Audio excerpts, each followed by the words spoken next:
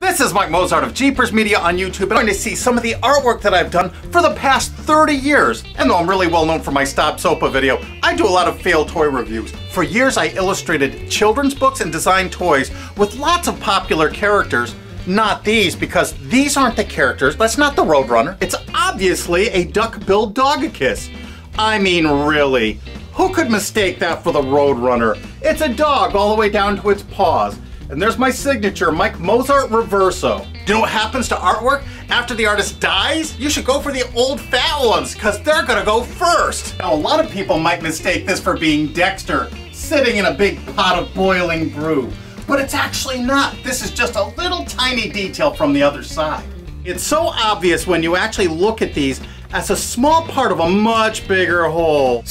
And this character is called the Lab Rat. And of course it's a genuine Mike Mozart Reverso. I mean really larger character. Look how big I am. I don't do anything little. Everything's enormous. What I'm hoping to do is find a gallery, maybe in New York City. That would be ideal since I live right outside New York City that wants to show this controversial show. Of course, it'd have to be a gallery that was clever enough to show that these paintings are on both sides and both sides are necessary because it shows I'm not infringing anybody's copyright. Well, a lot of people might mistake this for Jack Skellington, but they'd be wrong. This isn't Jack Skellington. It's a detail of a much bigger picture. That's on the other side, the reverso. But now look at what this painting actually is. This is the big copyright jackass. I mean, really. Who would mistake that for Jack Skellington now? And I'm not the unknown artist. Search Mike Mozart in quotations on Google. There's a million hits for me, or my company Jeepers Media. And my next Mike Mozart Reverso is one of the orneriest, craziest, shooting up characters in the whole world. It's not actually Yosemite Sam. How could anyone mistake You Duck You Miss for Yosemite Sam? And what do we have here? No, it's not Waldo, or Wally, depending on where in the world you are. But a lot of people make that mistake. I can't understand why. But if you look at the other side, it's, obviously the Santasaurus. I mean, what else could that be? This is safe fair use because this is commentary on the big media companies and how they're trying to silence you. So copyrights now are the beast.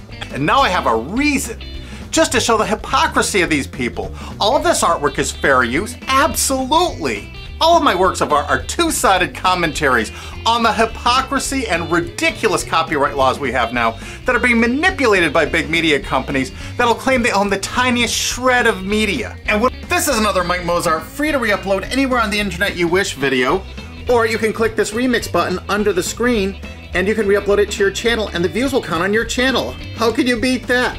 Help me spread the word. Mike Mozart Reversos are also on a lot of antique clocks. I especially like the original George Nelson clocks for Herman Miller.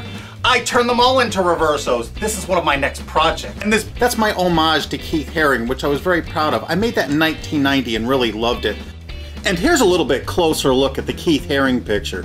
I used all kinds of, uh, what at the time, revolutionary painting techniques, and I kept a little leather-bound book, and I kept track of all those techniques, and I'm going to bring them all back in a lot of new pictures.